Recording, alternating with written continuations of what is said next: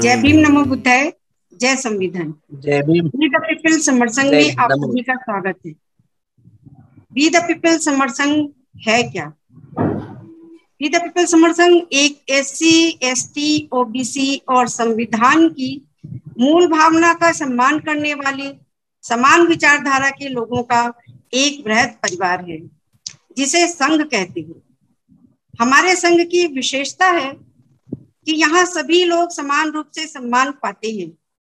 संघ में कोई छोटा या बड़ा नहीं होता है।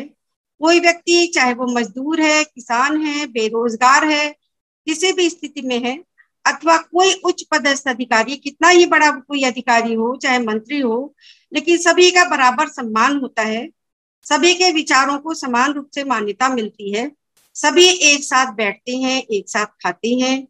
अर्थात संघ में कोई वीआईपी कल्चर नहीं है। कोई अध्यक्ष, सचिव, मंत्री आदि कोई भी पद हमारे इस संघ में नहीं है। कोई मंच माला नहीं है। किसी तरह का कोई सदस्यता शुल्क नहीं लिया जाता है। कोई चंदा, पर्ची कटने का कोई प्रावधान नहीं है। पैसे का कोई लेन देन नहीं होता है। हमारा प्रयास है कि हम आपस में पारदर्शिता बनाए रखें। और कहीं भी कुछ भी हम ऐसा ना करें जिससे आपस में अविश्वास बढ़े। सबसे पहला हमारा उद्देश्य यही है कि हम पारदर्शिता बढ़ बढ़ते और हमारे बीच में कोई भी मतभेद या मनभेद ना हो। संघ की आवश्यकता क्यों पड़ी? संघ निर्माण की इसलिए आवश्यकता पड़ी क्योंकि संघ जो होता है वो एक बहुत मज़बूत स्थिति में होता है। संघ का मतलब ये होता है कि जो उससे जुड़ा व्यक्ति, ये उम्मीद की जाती है कि वो अपने विचारों में सात्विक हो, झूठ ना बोले, किसी तरह, किसी भी तरह के गलत आचरण में वो ना पड़ा हो। तो ये जो इसकी मूल अवधारणा है कॉन्सेप्ट है, वो संविधान की मूल भावना के बिल्कुल उसके अनुकूल है। अर्थात जो संविधान की मूल भावना है, वो वास्तव में संघ से ही ली गई है। ये संघ हमारा बहुत पुराना संघ, जैसे कहा जाता है कि बुद्ध के समय से था। अब संघ का मतलब है कि एक मज़बूत विचारधारा, एक समृद्ध विरासत। पुराने संघ के समय में हमारी उन्नत संस्कृति थी। भारत एक महाभारत था। लेकिन जब हम बटने लगे तो हम शून्य की तरफ़ बढ़ने लगे, आज माइनस में पहुँच गए हैं।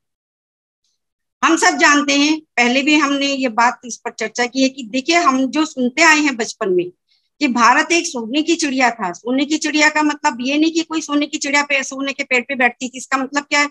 हम अपनी विचारधारा से इतने उन्नत थे, हमारी संस्कार इतने उन्नत थे, हम इतने समृद्धिशील थे कि हम तो जहाँ से ये सब पॉजिटिविटी होती है, वहाँ हमेशा ऑटोमेटिकली एक समृद्धि आती है, संपन्नता आती है। तो ऐसा हमारा संघ था। लेकिन जब ये संघ टूटा तो धीरे धीरे हम किस स्थिति में पहुँच गए, ये किसी को बताने की आवश्यकता नहीं समझती हूँ। क्योंकि जैसे जैसे हम इतने बिखर गए कि हम पर एट्रोसिटीज बे इंतहा हम पर एट्रोसिटीज होने लगी। क्यों? क्योंकि कोई अपने में मस्त है, किसी को कोई मतलब नहीं है, हम सुरक्षित है। पड़ोस का घर जल रहा है, हमें क्या मतलब है? हम तो खा पी रहे हैं ना। ये भावना जो है, इस भावना ने हमें खोखला कर दिया है। हम इतने आत्ममुग्ध या अपने मतलब सेल्फ अपने मतलब अपने तरफ़ सेल्फ आत्म केंद्रित हो गए कि हमें दूसरे से कोई मतलब हमने नहीं रखा और उसका नतीजा आज हम सबके सामने है। दोस्तों, हमारा परिवार है। हमारा परिवार तभी सुखी है जब हमारा पड़ोसी भी सुखी, हमारा समाज सुखी है। तो जब हम इतनी दयनीय स्थिति में आ गए तो हमें ये सोचना पड़ा कि आखिर वजह क्या थी? और तब यह महसूस हुआ कि हम कहाँ गलत थे। अब ये प्रयास हो रहा है कि हम लोग एक बार फिर से जुड़े और अपने उसी जो पुरानी हमारी विरासत थी, जो हमारी पुरानी प्रतिष्ठा थी, उसको प्राप्त करने का प्रयास करें और इसके लिए हमारा एकजुट होना बहुत आवश्यक है। वो सारे जंगल, वो सारे ज़मीन, वो सारी जो ये विरासत है नदी नहर, ये सब पर, हमारा नदी, पहाड़, सब चीज़ों पर हमारा ही अधिकार हुआ करता था। लेकिन आज देख रहे हैं, किस तरह से हमारे लोगों को मतलब किसी न किसी विकास के बहाने उनको, उनकी ज़मीन से बेदखल कर रहे हैं, उनको ये खाने तक को नहीं दिया जा रहा, इतनी खराब स्थिति में पहुँच गए इसकी वजह क्या है ये सोचने के लिए? हम लोग यहाँ इकट्ठे होते हैं, इस पर मनन करने के लिए हम यहाँ पर इकट्ठे होते हैं और सबसे जानकारी लेते हैं कि हम आखिर किस तरह से एकजुट हो पाए किस तरह से अपनी प्रतिष्ठा को प्राप्त कर पाए देखिए, एक प्रसंग मैंने आपको बताया था, शेर बहुत ताकतवर होता है है ना? लेकिन आपने कभी देखा होगा, शेर दिन में शिकार नहीं करता, शेर दिन में बस्ती में नहीं आता है। लेकिन शेर का हवा जो है ना, वो हमें परेशान करता है। किसी भी चीज़ का डर, हमारे मन में डर बैठा रहता। हम अगर जिस दिन एक, जब कई बार आपने सुना होगा कि कहीं खेत पे किसी ने शेर ने अटैक किया, लेकिन सब दौड़ पड़े खेत वाले। चारों तरफ़ से जब दौड़ते हैं तो फिर उस शेर को भागना पड़ता है। बहुत बार आपने देखा होगा, बहुत सारी टीवी चैनल्स वगैरह में चलते हैं कि देखिए, शेर अटैक करता है, लेकिन वो क्या, वो देखता है कि जो अकेला, झुंड से अलग जो प्राणी है, जो जानवर जा रहा है, वो उस पर उसे टारगेट करता है। और कभी कभी ऐसा भी होता है कि सारे जो है जानवर वापस जब उस शेर पर अटैक करते हैं तो उस शेर को भागना पड़ता है। बस हमें यही समझना है। बस हमें यही करना है कि हम जो है अपने मन पर किसी हवा को हावी ना होने दें। हम परस्पर एक दूसरे का सहयोग करें, एक दूसरे, जिस भी तरह से हम एक दूसरे का सहयोग कर सकते हैं। तो जो जो हवा क्या होता है, ये एक मनोवैज्ञानिक दबाव होता है हमारे जहन में, है ना? कि डर और उस वो जो डर है, ये, वो किसी भी दवाओं से नहीं जाता। वो डर जाता है सिर्फ़ एश्योरेंस से कि हमारा मनोबल बढ़ता है, तब जब हमारे साथ हमारा समाज खड़ा होता है, हमारे अपने लोग खड़े रहते हैं। तो बस यही बहुत छोटा सा कॉन्सेप्ट है, जुड़ना है और जोड़ना है।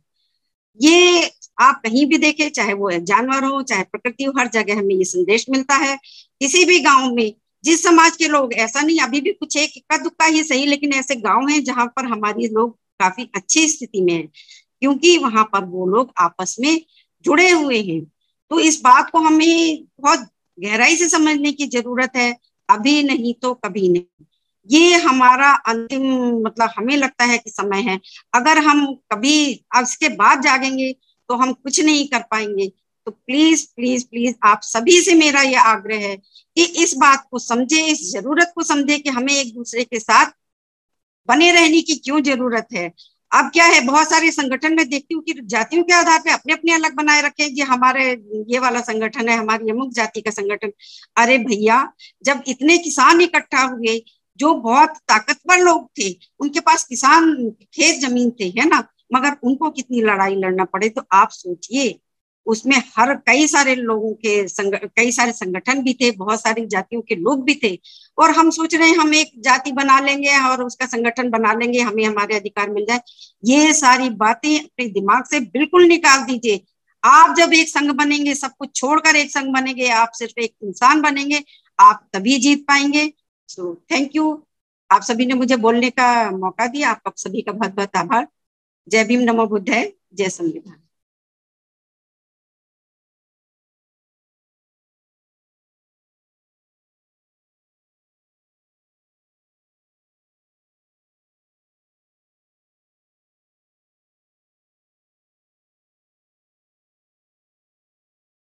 आप सभी से ये निवेदन है कि अगर आपको ये वीडियो अच्छी लगती है या बाकी वीडियो अच्छी लगी हैं, और आपको लगता है कि धर्म की वीडियो किसी को और मिलनी चाहिए या किसी को गिफ्ट में भेजनी चाहिए या किसी भाषा में कन्वर्ट करके आगे बढ़ानी चाहिए या प्रिंट में, किताब में छापनी चाहिए या इसकी जो ऑडियो है उसे निकाल के भेजना चाहिए या इसका किसी पार्ट को इस्तेमाल करना चाहिए तो आपको लिबर्टी है, आपको छूट है। ये सभी कॉपीराइट फ्री हैं।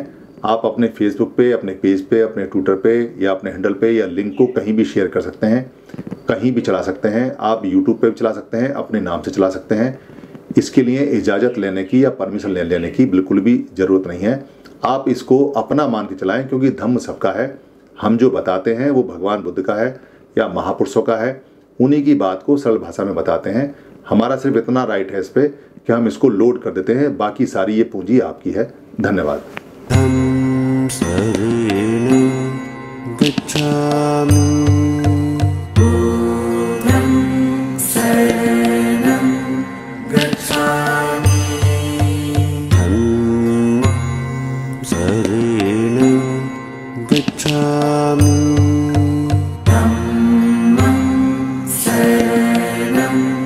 गच्छामि।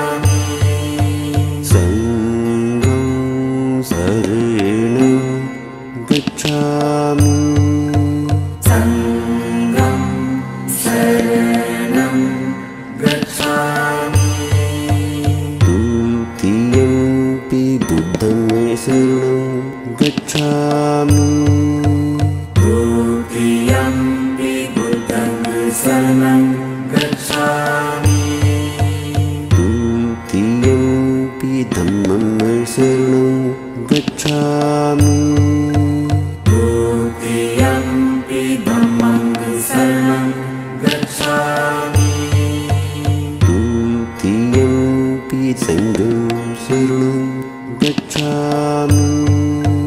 गोहेयंपि सङ्गं शामि तीपि बुद्ध गच्छामि। तेऽयंपि बुद्धं श